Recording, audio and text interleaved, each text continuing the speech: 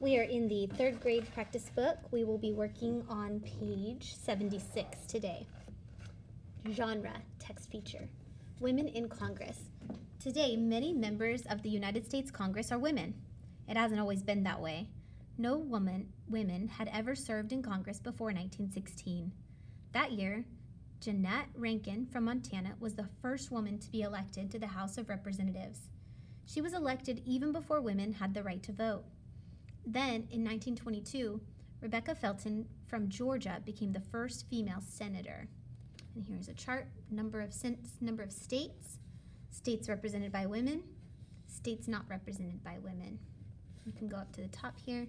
This one almost goes to the number 20, and this one goes a little bit past 30. So I'd probably say this is like 32, and this one's like 28, something like that. Very close, maybe 29, 31. Um, it's not exactly accurate, but it's close. How can you tell this is expository text? There are facts and dates. So this is true. Remember, expository means true.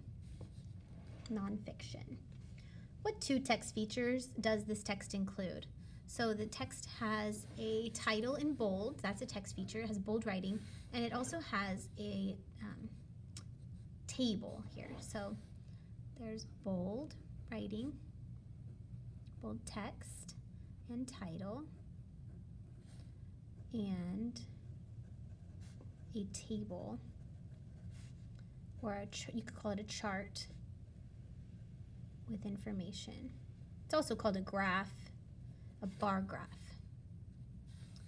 What is the text heading?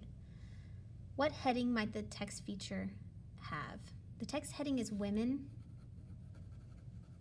in Congress. And the text feature here, this graph here, we might want to name it something like States represented by women or Women representing states, something like that. So, women, the number, it's a number of women, number of women representing states.